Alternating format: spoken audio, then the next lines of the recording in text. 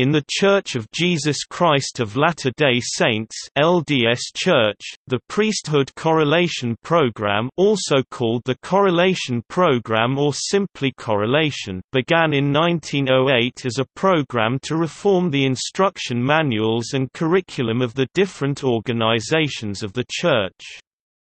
Its scope quickly widened and correlation came to have large effects on almost every aspect of the Church including doctrines, organizations, finances, and ordinances.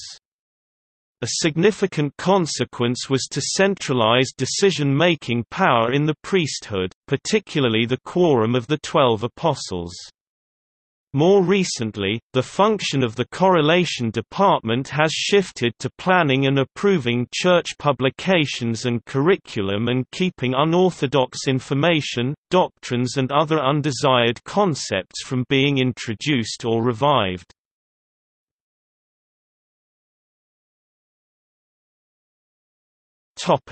Background and history In the LDS Church, all organizations and activities are intended to complement the mission of the Church and are considered subject to the priesthood, helping to complete its responsibilities. Before the correlation movement, the various organizations and auxiliaries of the Church, including the Relief Society, Primary, Sunday School, Welfare Program, Genealogy Programs, and the Young Men and Young Women organizations were largely under the direction of the stake or ward, and curriculum could vary from ward to ward.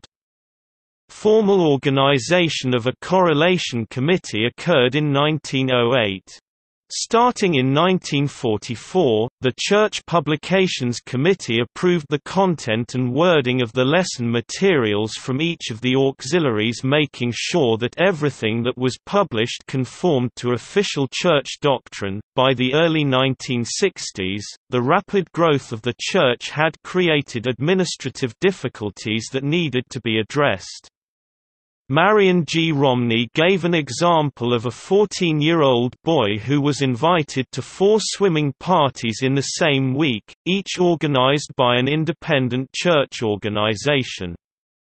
David O. McKay charged the General Priesthood Committee, led by Harold B. Lee, to form committees to correlate the instruction and curriculum of all priesthood and auxiliary organizations of the Church.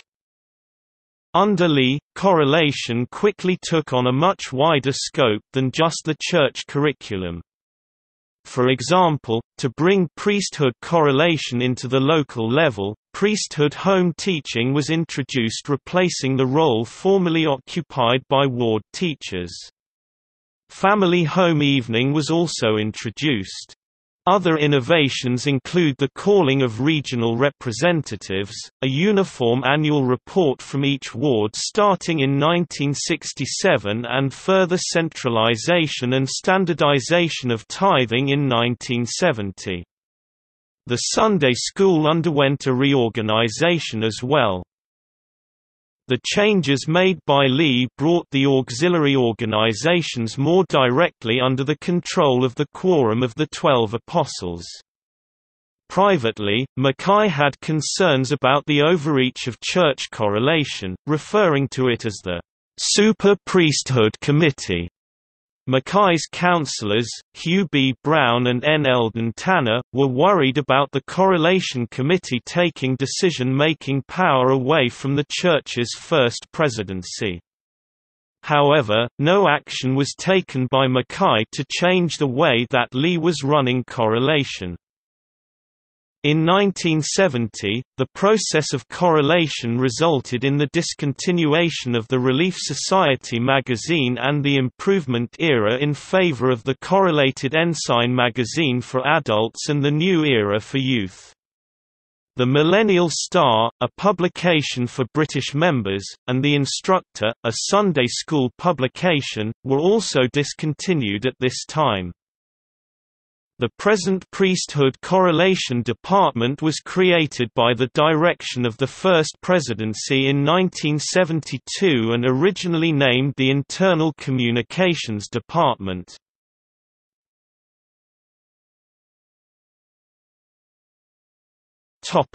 Doctrines and structure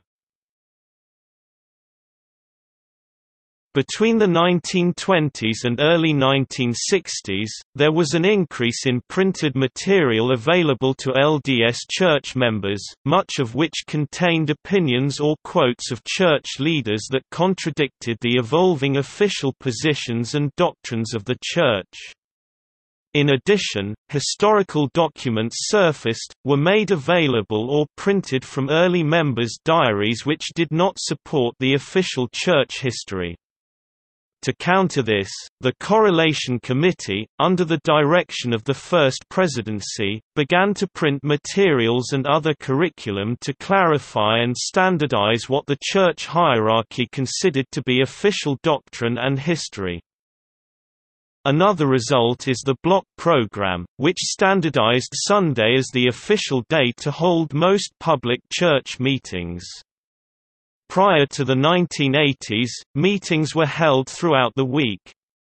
For example, in a local ward, the Relief Society may have met on Monday mornings, primary and choir practice on Tuesday, young women and young men on Thursday, ward activities and events on Friday, and service projects on Saturday. Because of the Church's focus on families, the Correlation Committee recommended a three-hour block of meetings on Sunday that would include a sacrament meeting, Sunday school, priesthood and relief society meetings, and primary, young men and young women classes. This would allow families to spend more time together, and for parents and children to be more involved with their communities. In addition, due to a more centralized structure, local building funds and ward budgets were centralized by the Church, easing the contributions of local members for such funds, and allowing for a more equitable distribution of funds. Prior to this, church areas with more wealthy members tended to have better funded buildings and activities than poorer areas.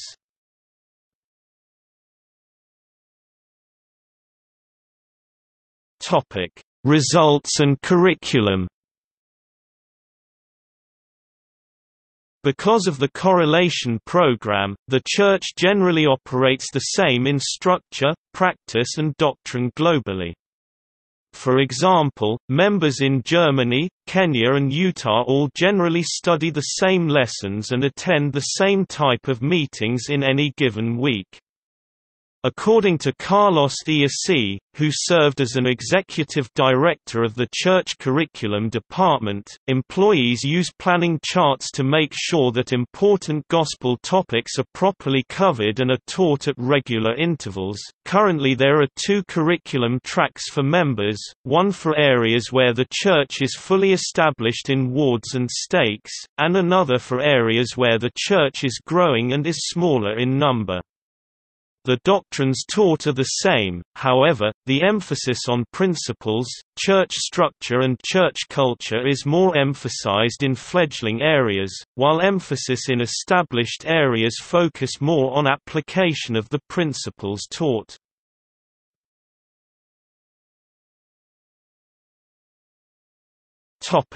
See also